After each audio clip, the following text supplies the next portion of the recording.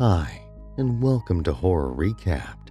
Today we will be discussing a 2009 psychological horror film titled Triangle, directed by Christopher Smith. Beware, spoilers ahead.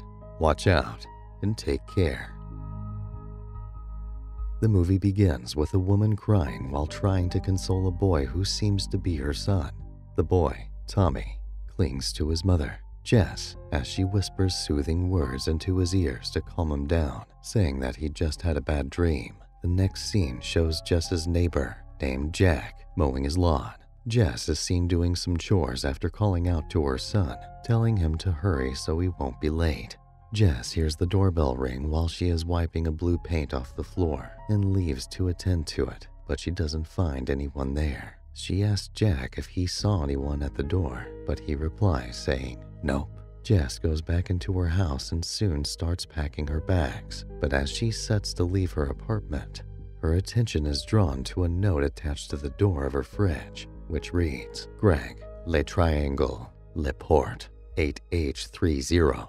She places her luggage in the car's trunk and goes inside for her son. She carries him out after he resisted coming out of his room. She drives out of her town called Sunshine State. Downey, Sally, and Heather walk into a ship named Triangle. Downey calls out Greg, who is the sailor of the ship, while Sally runs to hug Greg and they both exchange pleasantries. Sally introduces Greg to Heather as her friend.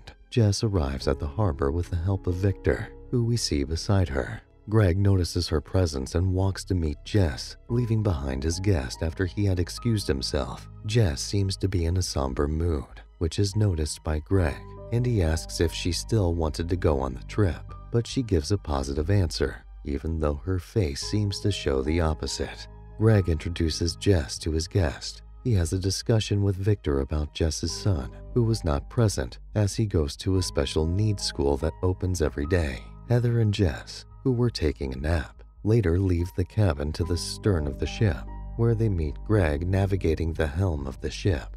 Greg and Jess engage in a conversation, and she asks him about his relationship with his guests on the boat. Greg introduces Victor as the boy who stays with them, since he has no place to live.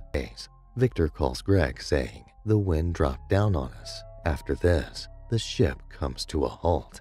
Greg becomes aware of the situation, and soon the cloud becomes dark, causing everyone on the ship to panic. He makes an emergency call, but the line is breaking, which makes communication difficult. Greg becomes stressed about the whole situation. He looks for a way to keep the ship moving since it has come to a halt, but the situation becomes worse as the rain begins to fall heavily. They all run into a safe place inside the ship, while Victor and Greg try to make amends to prevent the ship from sinking since water had begun to enter the ship. It was breaking its way into it, and this caused the ship to be flooded with water. The ship crashes. They all fall into the water, and after the storm clears, they climb onto the overturned boat, who does not make it. They are all in a somber mood after the incident. A large ship approaches them as they wave at the ship for help. It stops for them to enter. Jess enters the ship, though she is reluctant at first. They are glad for this change in luck and hug one another. They get into the ship and call out for its occupants, but there is no reply. They look about the ship and they hear a jingling sound, only for it to be Jessie's keys. She thought she had lost them while she was on the other ship. As they continue their search, something fast passes a curtain behind them. Victor trails it, but doesn't find anyone. Greg also begins his search with Jess leaving behind Downey and Sally in the dining room. Jess tries to explain to Greg that she knows this place, and it feels like she has been here before, like deja vu. They hear a noise and trace it to a room where they find the words, Go to the theater, written with blood on a mirror. This causes Jess to freak out, but Greg feels less bothered about it which leads to a disagreement between them.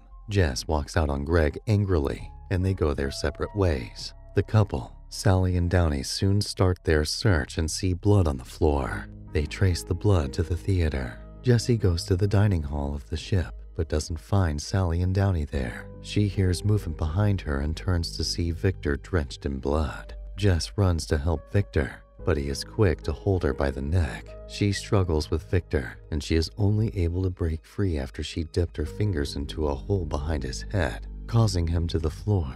Dead, an angry Sally runs to hit Jess, claiming that Greg had said Jess shot him.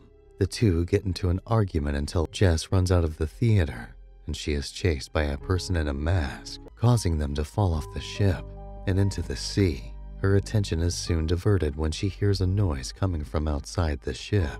Jess goes outside and sees herself, Greg, Sally, Downey, and Victor on an overturned boat waving at the ship she was inside. Jess recalls the situation as it had just happened a while behind them. Jess meets Victor outside and tries to explain to him that she wasn't the one on the ship with them. She also tells him that Greg, Sally, Downey, and him, Victor, had died. In the course of explaining to him, Jess accidentally pushes him to a wall where a metal is hooked to. It makes a deep hole behind his head. Jess is scared and runs into a room where she sees piles of scrambled notes with the words written in similar handwriting. She also sees lots of lockets exactly like hers. Jess realizes that she has been in the same situation a couple of times. The movie continues with Jess trying to do things differently so they can be saved. The situation leads to Jess becoming more than one.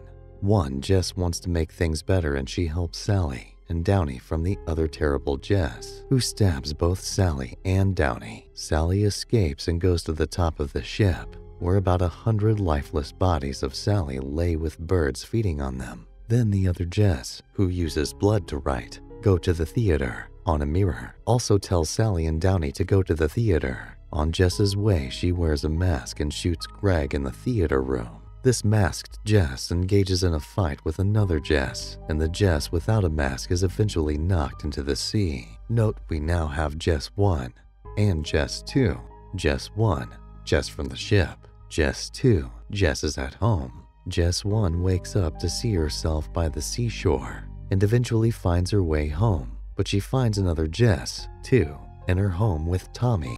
Jess 1 is furious at this and presses the doorbell but leaves immediately. Jess 2, not seeing anyone at the door, goes back inside, but she is hit with a hammer by Jess 1. Tommy sees as Jess 2 is murdered by Jess 1, and he begins to cry. Jess 1 hugs Tommy, holding him tight and telling him it was just a bad dream as tears flow down her cheeks. Jess 1 packs Jess 2's lifeless body in a bag and places it inside the booth of a car. And Jess 1 leaves town Sunshine State with Tommy. On their journey, Jess bumps into a bird and she comes out of the car to remove the carcass of the bird to the side, only to see other lifeless birds, similar to the one in her hand. Tommy is frightened and Jess tries to calm him down. Jess is distracted while driving and collides with a moving truck. Tommy's and Jess 2's lifeless body lay on the floor, but Jess 1 stays away from the accident and observes from afar uninjured. Jess 1 orders a cab to the harbor and on arrival, she meets Victor. He walks her to the ship. Greg comes to meet her and notices the sad look on her face, but Jess 1 doesn't mention the accident, but tells Greg that her son was at school. Greg introduces Jess to his friends on the ship, and the triangle continues. Let's know your thoughts in the comments section. If you would like to look into another movie with us, then be sure to click the like button subscribe to this channel, and turn on notifications so you don't miss a single video. Thanks for watching.